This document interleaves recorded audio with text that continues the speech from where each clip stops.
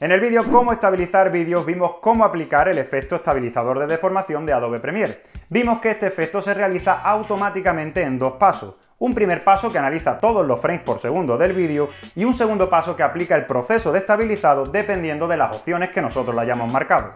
Todo este proceso lo hace mediante un algoritmo que se encarga de definir las coordenadas de posición de una serie de puntos que deben permanecer fijos para que el plano se vea estable. Una vez definidos los puntos, analiza todos los fotogramas y cuando detecta que los puntos se han movido, mueve de posición el fotograma para que los puntos vuelvan a estar en las coordenadas de posición definidas. De esta manera, moviendo los fotogramas donde los puntos han cambiado de lugar, estabiliza el vídeo. Cuando tenemos planos donde existen varios tipos de movimiento, como el que vamos a ver a continuación, el software se hace un lío porque no sabe cuáles son los puntos que tiene que estabilizar. En los ajustes del efecto, en Adobe Premiere, no podemos elegir los puntos que tiene que estabilizar, por lo que cuando tenemos un vídeo de estas características, el resultado es un desastre. Fijaros en este plano. Aquí tenemos dos movimientos diferentes. Uno es el movimiento de todo el plano causado por el pulso de mi mano, se puede ver claramente si nos fijamos en el fondo en la zona verde, y otro movimiento es el del personaje principal y su pelo. Si utilizamos el efecto estabilizador de deformación en Adobe Premiere, este lo que va a intentar es estabilizarlo todo, y no va a entender que el pelo y el movimiento de la chica no es lo que queremos estabilizar, dándonos el siguiente resultado.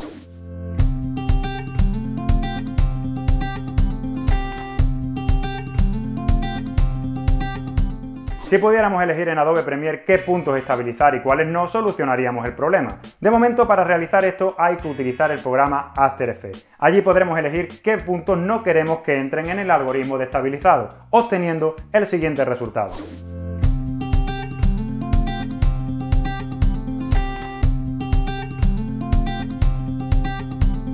Hoy veremos las opciones avanzadas del efecto estabilizador de deformación VFX de After Effects. ¿Estás preparado?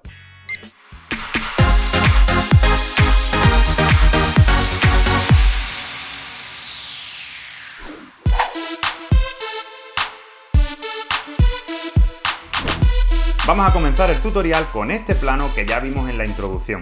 Vamos a estabilizarlo en principio usando el estabilizador de deformación de Adobe Premiere y para ello vamos al panel de efectos, efectos de vídeo, distorsionar, lo seleccionamos y lo aplicamos al clip de vídeo. Comienza el efecto a realizar el análisis en segundo plano y de mientras vamos a configurarlo para que nos dé un resultado sin movimiento. Una vez termina el análisis, le aplica el estabilizado y obtenemos el siguiente resultado. Como podéis ver no es nada bueno. El efecto ha interpretado que debe estabilizar a la modelo y nos ha dejado movimiento en todo lo demás. En este plano en Adobe Premiere no podemos hacer nada para solucionar este problema. Podríamos elegir que el resultado fuese un suavizado de movimiento y obtendríamos el siguiente resultado. Parece claramente que estamos a bordo de un barco en medio del mar. En conclusión, este sería uno de esos planos que al final no entrarían en el resultado final de nuestra edición. ¿Cómo se podría haber solucionado? Pues muy fácil, diciendo a la Premiere que no tiene que estabilizar el pelo de la modelo. El pelo y el árbol que está justo detrás debe moverse. Lo que tiene que permanecer estable es el fondo de la toma, es decir, el horizonte. Lamentablemente, hasta la versión que estamos usando en este tutorial, la CC 2017, no es posible. Seguramente en versiones posteriores Adobe lo incluya, pero hasta la fecha tenemos que usar After Effects para realizar una elección manual de los puntos a estabilizar. Vamos entonces a mandar este plano a After Effects. Antes de nada, vamos a eliminar el efecto de estabilización de deformación que le hemos aplicado en Premiere. Lo seleccionamos en el panel Controles de efecto y pulsamos Suprimir. Lo mejor de usar la suite de Adobe es que podemos movernos entre programas de una manera muy fácil. Seleccionamos el clip de vídeo que queremos editar en After Effects Pulsamos con el botón derecho del ratón y seleccionamos Reemplazar con composición de After Effects. Si no tenemos abierto After Effects, inmediatamente se abrirá el programa y lo primero que nos pedirá será que le demos un nombre al proyecto. En mi caso, lo voy a llamar Proyecto Estabilizado 01 y lo voy a guardar en la carpeta Documento. Para terminar, pulsamos el botón Guardar. Se nos abre el programa y como podéis ver ya tenemos el vídeo en una composición. Lo mágico de todo este proceso es que al venir de Premiere todos los cambios que les realicemos en After Effects se actualizarán en tiempo real en Adobe Premiere. Vamos a aplicarle un efecto sencillo para que lo veáis. Si nos vamos en After Effects a Efecto, Corrección de color y elegimos Blanco y Negro, nuestro plano quedará sin color. Si ahora vamos a Premiere, como podéis ver el clip ya está en blanco y negro. Así de fácil. Si ahora en After Effects lo deshacemos y volvemos a Premiere, comprobaremos que ya el clip vuelve a tener su color inicial. Visto esto, vamos a aplicarle el efecto de estabilización de deformación VFX, que es como se llama en After Effects, y que lo encontraréis a partir de la versión CC. Clicamos en la capa de vídeo en la composición con el botón derecho del ratón y pulsamos Estabilización de deformación VFX. El efecto es prácticamente idéntico al de Premiere y comienza realizando un estabilizado automático en dos pasos. Vamos a elegir un resultado sin movimiento. Cuando termina nos da el mismo resultado que obtuvimos en Premiere.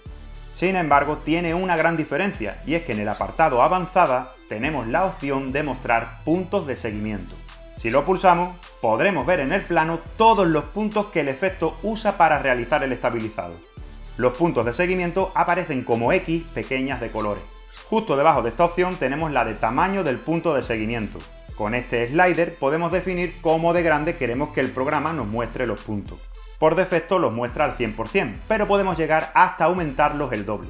Una vez que ya tenemos los puntos visibles, podemos eliminar todos los puntos que no queremos que entren en el algoritmo. Si dejamos la casilla de eliminar los puntos de seguimiento automáticamente en el tiempo, al eliminar puntos de seguimiento en un fotograma, los puntos de seguimiento correspondientes del mismo objeto en los fotogramas siguientes se eliminarán también.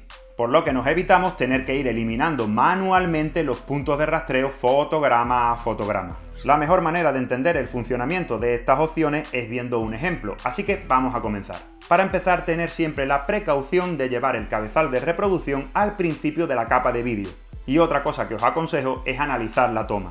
En este ejemplo, como ya hemos dicho, lo que debe permanecer estable es el horizonte y los árboles del fondo. El pelo de la modelo y el árbol que está justo al lado no tienen que estabilizarse, por lo que vamos a ir eliminando los puntos que se encuentren en esa zona. Pulsamos con el ratón en una zona y sin dejar de pulsar hacemos una selección de los puntos que queremos eliminar mediante un lazo. Una vez definido, soltamos el botón del ratón y quedarán seleccionados mostrándose de color amarillo.